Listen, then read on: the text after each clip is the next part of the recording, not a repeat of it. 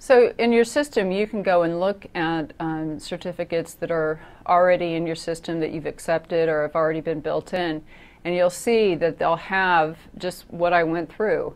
They'll have the version number of the standard that's being used. They'll have an individual serial number, the asymmetric algorithm and the hashing algorithm the CA used to sign it. Um, it has all of that information. And then you could look at information on the certificate which will indicate what the certificate can be used for. Uh, it could be used for, you know, like I said, with an email or signing software. It'll have basically permissions of how it can be used and, and what it was developed for.